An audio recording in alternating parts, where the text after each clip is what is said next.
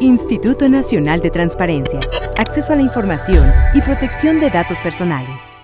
Por instrucción del INAI, la Fiscalía General de la República debe dar a conocer los nombres de funcionarios y exfuncionarios llamados a declarar por el caso Odebrecht, así como aquellas personas que enfrentan acusaciones precisando fecha y lugar donde fueron citados. La resolución corrió a cargo de la ponencia de la comisionada María Patricia Cursain Villalobos, quien destacó que la información es de interés social, pues se trata de posibles actos de corrupción. Sobre este caso, quiero destacar que este instituto no pretende en ningún momento y bajo ninguna circunstancia establecer, acreditar o decidir si se han cometido o no los delitos de hechos de corrupción que se investigan en la carpeta de investigación materia de estudio, sino que conforme al ámbito de nuestra competencia institucional,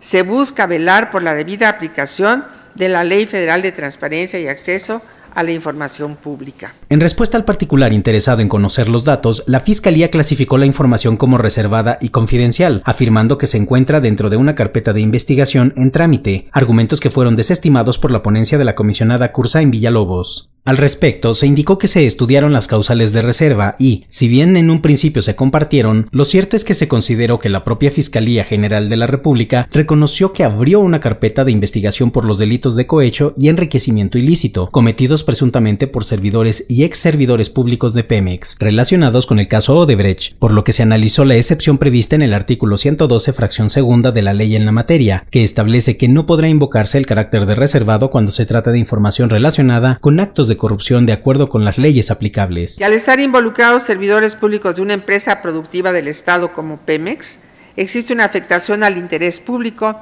en beneficio de un interés particular que afecta no solo a esa empresa productiva, sino a la sociedad en general. Toda vez que las conductas que se persiguen en el caso Odebrecht, en específico cohecho y enriquecimiento ilícito, están catalogadas como actos o hechos de corrupción. En ese sentido, destacó que, del análisis realizado tanto de la normativa nacional e internacional relacionada con hechos o actos de corrupción y, en atención a los hechos que son investigados, se concluyó que se actualiza la excepción a la reserva prevista en la Ley Federal de Transparencia. Con los argumentos expuestos, el Pleno del INAI determinó revocar la respuesta de la Fiscalía General de la República y le instruyó a dar a conocer los nombres de los funcionarios y exfuncionarios públicos que han sido llamados a declarar por el caso Odebrecht, así como de aquellas personas que enfrentan acusaciones, precisando que se deberán tomar en cuenta los efectos de la suspensión otorgada en el juicio de amparo 1336 diagonal 2018. Instituto Nacional de Transparencia, Acceso a la Información y Protección de Datos Personales.